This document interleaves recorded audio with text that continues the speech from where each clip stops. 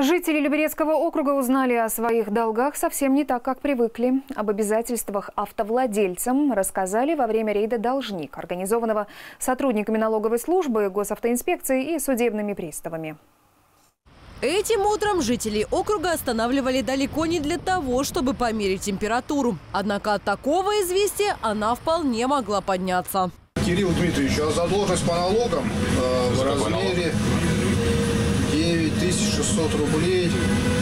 К сожалению, расшифровку я вам дать не могу, это вам надо будет в налоговую обратиться.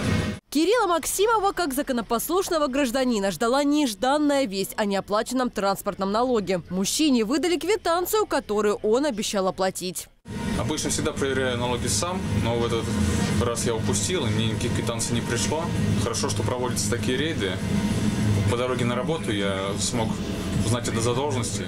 Вот так о своих налоговых задолженностях жители округа могут узнать ежеквартально. Во время рейда судебным приставам и сотрудникам налоговой удается оповестить об неоплаченных обязательствах как минимум 10 злостным неплательщикам. Для того, чтобы оповещать население. На самом деле люди достаточно спокойно реагируют э, на данные э, мероприятия, согласно оплатить задолженность. Мы выдаем квитанции, и они оплачивают. В этот раз участники рейда за несколько часов работы проверили 56 автовладельцев и выявили 12 должников с незначительной суммой долга. Им вручили требования о явке к судебному приставу-исполнителю. Анна Троян, Алексей Андреев, телеканал ЛРТ. Всем привет! Я Анна Троян, вы смотрите ЛРТ. Подписывайтесь на наш канал на Ютубе и ставьте лайки. Будьте в курсе самых важных событий.